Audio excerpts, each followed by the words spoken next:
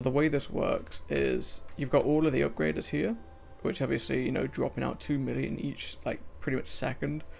Uh, and these three go up into this little system here. I know I can just do ladders, but this little system, so we've got 4 and then four, four, four, up into the bottom one, which is 3.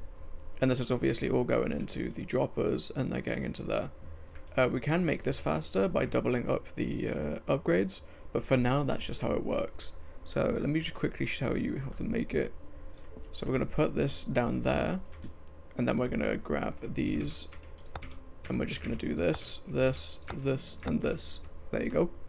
And then we're going to build up like this, and we're just going to do kind of like that style, and then we're going to do this surrounding this. Obviously, you're going to want to put the upgrades down first, but I'm just going to do a rough template so you guys can, you know, uh, get started on it. So once you've done that, those three, uh, we're going to put these down here. You can obviously fill this in as well. And nine, okay, there we go. And we've got this. And then what we're going to do from here is surrounding it, we're just going to cover the entire thing or surrounding area with some more cobblestone. Again, you can do it with any block, but you have to make sure this one is uh, the aquastone.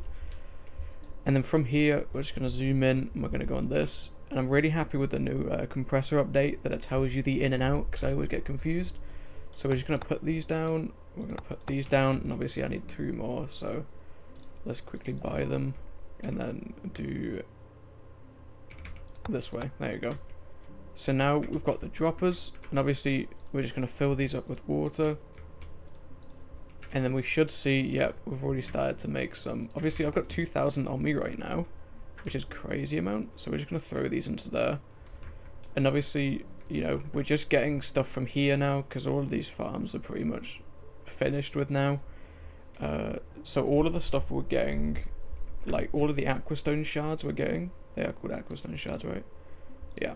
So the Aquastone shards we're getting is just from this. So again, it's been like 10, 20 seconds and we've already got 42.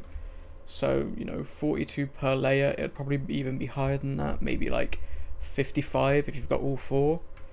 And I think this one, we've got about four or five layers of four. Oh, I missed that. Four or five layers of four. Let's just check. One, two, three, four. So we've got four layers of four, so 16, and then three at the bottom, so we've got 19 going.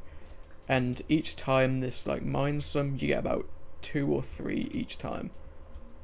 So that's a lot. And obviously, I'm pretty sure, you know, 2 million a second, we're going to be getting around a few hun a few like 100 million every five ten minutes, which is actually insane. So, that's just a quick tutorial for you guys on the new Aquastone farm.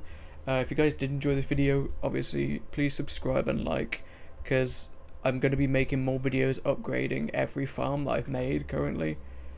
And, um, you know, whenever I find new ways to improve the farm, I'll let you guys know in future videos. But for now, if you did enjoy, please like and subscribe so we can get this channel further. We've grown so much in the past 30 days and it's insane.